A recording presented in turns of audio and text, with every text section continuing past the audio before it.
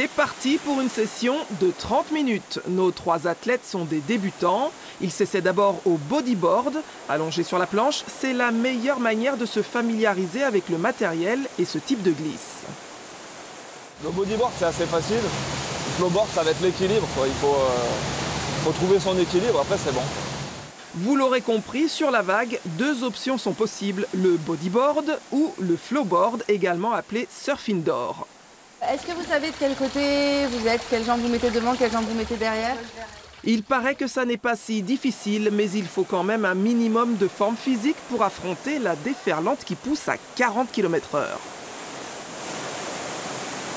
C'est la deuxième fois qu'il ride sur la vague. Et euh, en fait, ce qui est hyper simple avec le flowboard, c'est qu'on arrive vite à trouver son équilibre.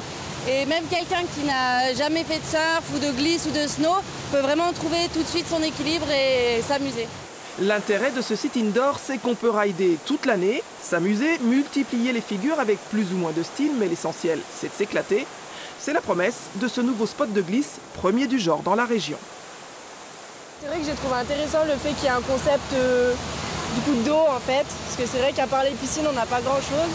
Du coup, bah, j'ai voulu essayer. En plus, euh, j'aime bien le sport, du coup, euh, voilà. Nos trois athlètes conquis comptent bien remettre ça, un loisir fun et fashion accessible dès l'âge de 7 ans.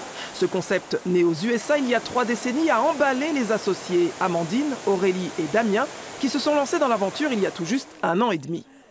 Nous, on a pu faire une installation qui nous semble idéale, c'est parce qu'on a, la, on a du coup la vague qu'on peut pratiquer toute l'année en intérieur.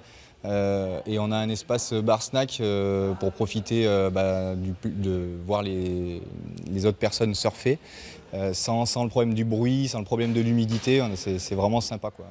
Résultat, un espace de 150 mètres carrés, tout juste ouvert avec plusieurs formules possibles. Après une période de rodage, la vague sera notamment accessible aux personnes à mobilité réduite.